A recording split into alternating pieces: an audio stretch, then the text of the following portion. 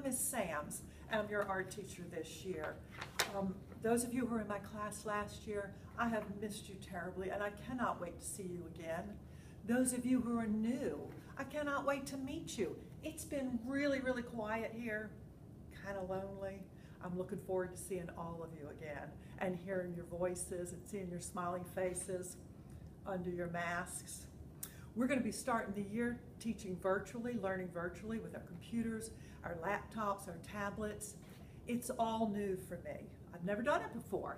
So I hope that you're going to be patient with me and be helpful when I need help. And we're going to help each other out because we are Coosa Bobcats and we are Coosa strong.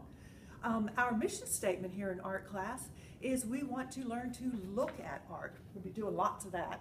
We want to talk about art. We're going to be making art. And by the end of the year, I sure hope you're going to love art. I've got lots of fun activities planned for you, and I cannot wait to see you again. Bye.